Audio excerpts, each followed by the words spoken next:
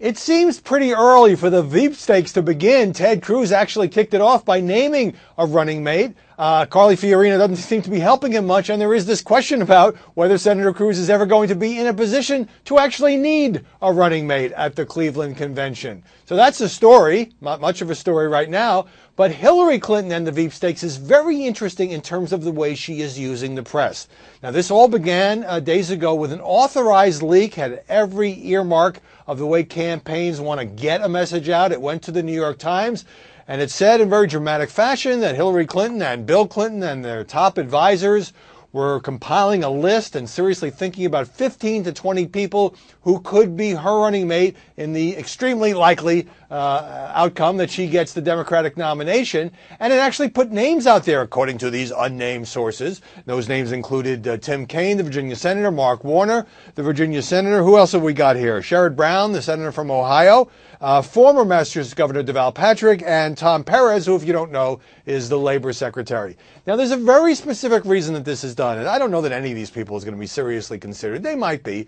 Um, and the idea that, you know, this is beginning in earnest, well, let's face it, the reason this story was put out there quite deliberately by the Clinton campaign was to give the impression that the primaries are over, that she's looking past the Bernie battle and she's already deciding who she's going to run with in the fall. And the press kind of falls for this because we love the Veep stakes. We have an insatiable appetite for this kind of endless speculation. But it didn't end with those names. And by the way, when politicians put out the names, oh, I'm certainly willing to consider so and so, it's a way of flattering other politicians. It's also a way of sending a signal to constituency groups. So, former governor of Massachusetts, Deval Patrick, says, Look, I'm considering a prominent African American. Tom Perez, nobody knows who he is. He's the labor secretary, but he's also a Hispanic.